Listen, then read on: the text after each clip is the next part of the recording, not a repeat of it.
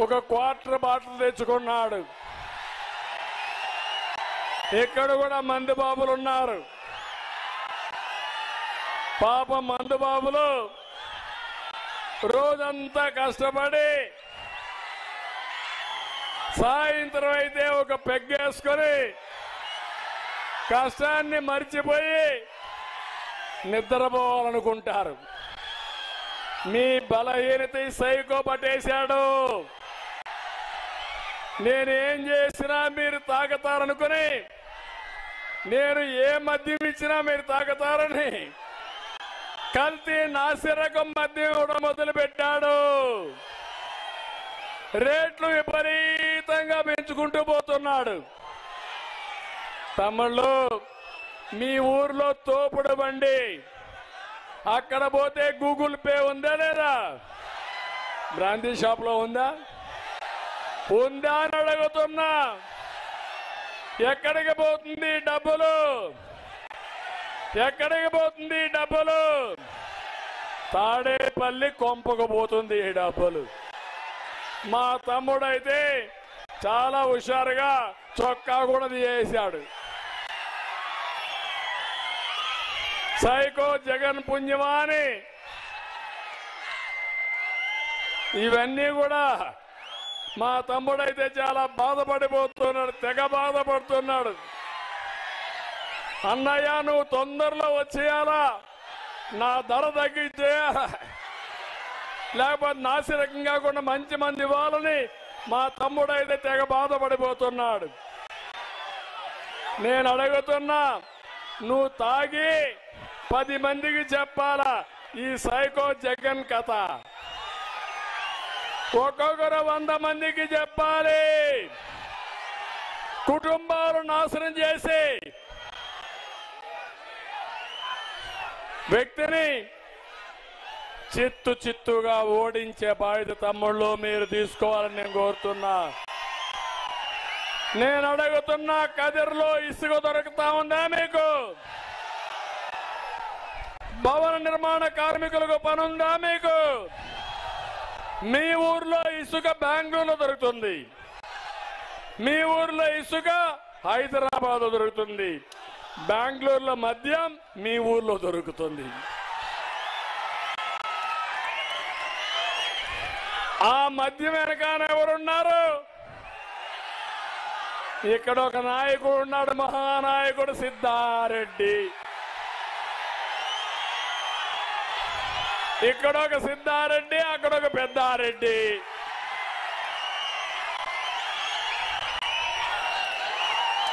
ఏం చెప్పాలి వీళ్ళు? మనుషులేనా అని అడుగుతున్నా.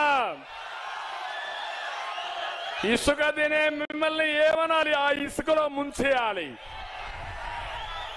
కర్ణాటక మద్యం తెచ్చే మిమ్మల్ని ఆ కర్ణాటక మద్యంలో ముంచేసి ఊర్లో బట్టలిప్పి తిప్పాలా? ఏంటి దుర్మార్గాలు? మట్కాలో డబ్బులు కావాలా మీకు? మట్టిలో డబ్బులు కావాలా మీకు? ఏంటి అరాచకాలు? అడిగేవాళ్ళు లేడనే? చెప్తున్నా ఒళ్ళు దగ్గర పెట్టుకోండి మీ రోజులు దగ్గర పడ్డాయి. ఎక్స్పైరీ డేట్ వచ్చేసింది. ఇంకా ఆరు నెలలే మీ కథలు. ప్రజలు తిరగబడడానికి సిద్ధంగా ఉన్నారు. మీ మీదకి వస్తే భయపడద్దండి. నన్ను ఒక్కసారి తలుచుకొని ముందుకెళ్ళండి. వైఎస్ఆర్ కాంగ్రెస్ నాయకులు గాని మీ మీద కర్ర తీసుకొస్తే మీ అందరూ ఆ కర్రతోనే బుడత పూజ చేయండి వాళ్ళకు.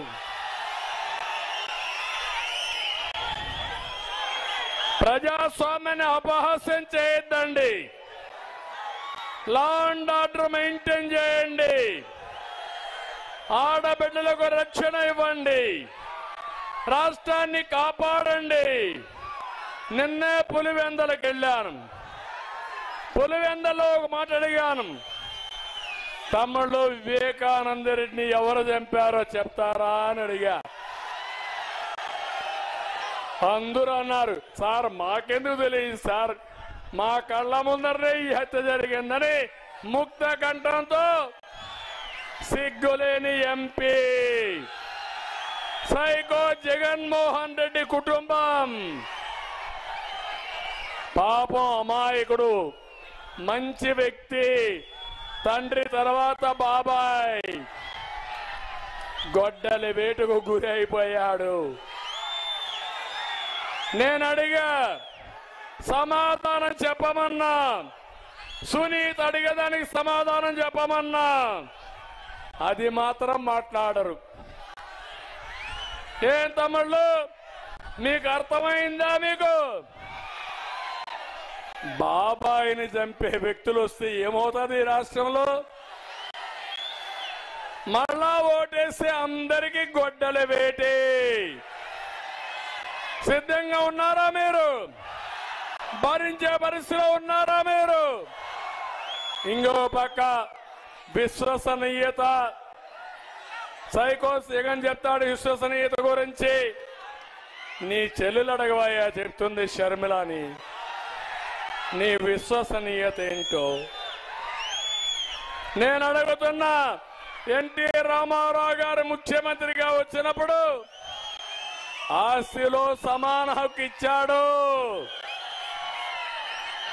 రాజశేఖర రెడ్డి కూడా నాకు మిత్రుడే ఒకప్పుడు. తర్వాత రాజకీయంగా ప్రత్యర్థి. నేను అడుగుతున్నా ఈరోజు జగన్మోహన్ రెడ్డి ఆస్తిలో హక్కు ఉంది కదా శర్మలకి. ఉందా లేదా? రాజశేఖర రెడ్డి ఆస్తిలో జగన్కి షర్మిలకి సమాన వాటా ఉందా లేదా? ఉందా లేదా? ఉంటే చేయబోకెత్తండి